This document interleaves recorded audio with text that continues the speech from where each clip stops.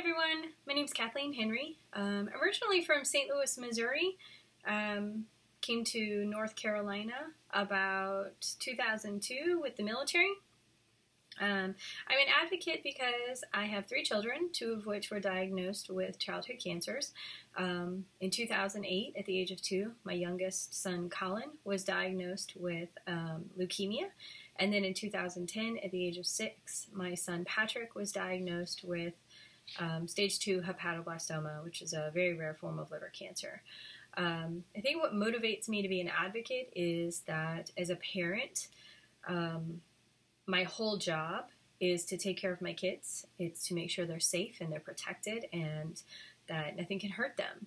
Um, I want them to be able to grow up and have a happy, healthy future.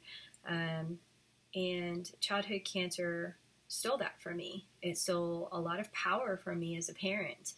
Um, and I, I don't like feeling helpless. So advocacy was a way for me to take some of that power back.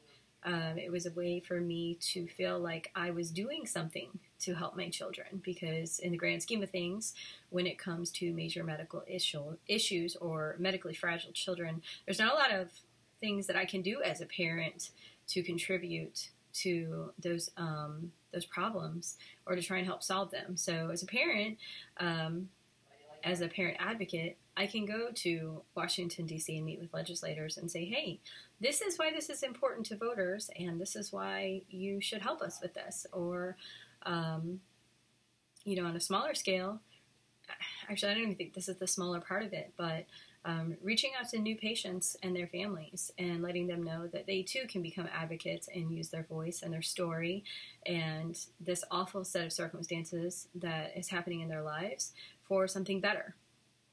Um, I always say that it's too late for my kids. I can't change um, what's happened to them, and I can't change the effects that their treatments have had on them. But perhaps if we take this big bucket of awful that we've been given and we use it for something good, then maybe the next group of kids who comes along won't have as difficult of a time. And as helpless as I feel in as a parent, that's encouraging to me to make sure that no other parent feels so helpless. Um, I think that success in advocacy often looks that way.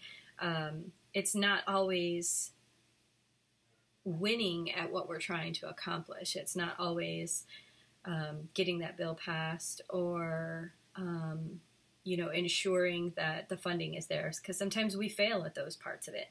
Um, I think success in advocacy is the other people who we welcome into the fold finding that voice. I feel like that's the most successful thing that we do as advocates is um, finding our own voice and helping others find their voice because um, there's not a lot that we can do by ourselves. There's not a lot that I can do as Kathleen, mom of two kids with cancer, on my own. I need an army of people behind me. I need an army of people marching beside me to make everything come to fruition.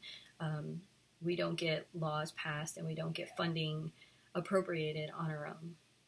Singularly, as one individual, it's not going to happen, but a large mass group of screaming um, advocates, we get things done that's what success and advocacy is to me uniting and um, working together to make things happen. Uh, I think my advice to new advocates would be to um, take it one day at a time. Uh, just like they told us when our kids were diagnosed um, early on, when my sons were diagnosed, especially Colin. Um, his was over three and a half years of chemo and radiation, and they told us this is a marathon, not a sprint.